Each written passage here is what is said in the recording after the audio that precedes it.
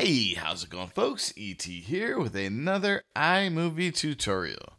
In today's tutorial, we're going to show you how to crop a video before you drop it in, into that timeline to get rid of uh, unwanted parts. And uh, in this video here, this is capture from my Dreamcast, which is like 480p and um, not widescreen. So what I want to do is do my my cropping before I put it in the timeline. So I'm going to go ahead and show you how to do that. So the first thing you're going to do is have your video here and you're, going to select it. Then you're going to go to the cropping tool and you're going to hit crop.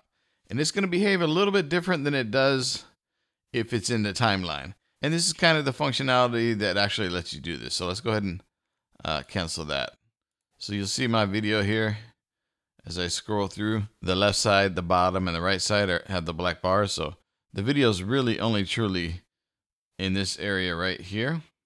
So I want to get that down to that. So I'm going to select my clip. I'm going to hit cropping tool. I'm going to hit crop and then I'm going to bring it into where what where I'd like it to be.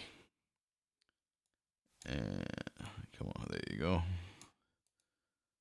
Let me get to a good spot that has something I can see. There we go.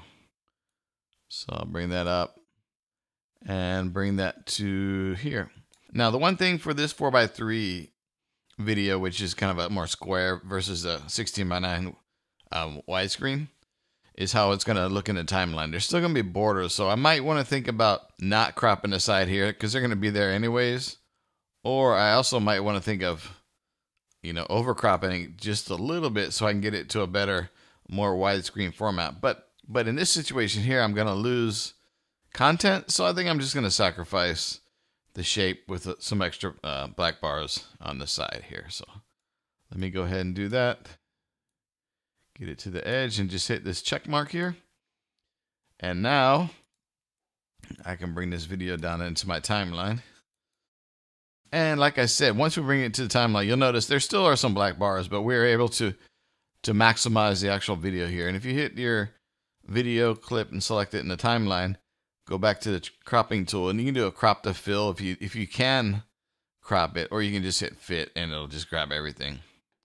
Okay so that's kind of how you do your cropping before you bring it into your timeline if you have some weird edges that you want to get rid of. All right thanks for watching. We'll catch you next time. Peace and aloha